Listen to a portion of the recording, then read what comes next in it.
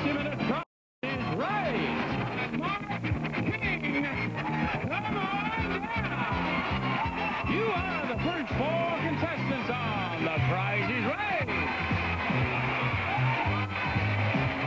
Now, Mark, you are a fine-looking young feller. What do you do? I'm a student at the University of New Orleans. Oh, you are? Yes, sir. Any student would love the prize that's coming out here for you to look at right now.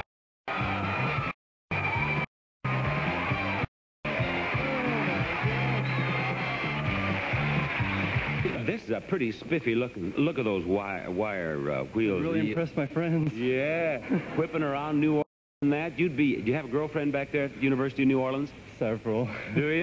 Yeah. You'd have several more if you get the hold of this. Now, here are six one dollar, seven one dollar bills. We're going to play Lucky Six. We're going to play Lucky Seven over here. Are you counting them, Mark? Don't you trust me? There are there are seven there. I've won seven dollars. Have it now. You're going to tell me each number in the card.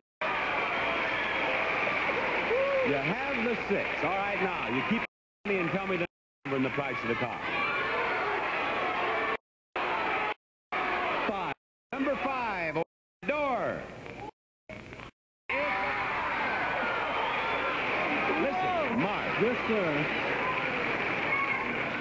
I'm not sure that I've ever had a contestant in any better shape than you are right now. I don't know how much you know about this game, but trust me, things are going very well for you at this point.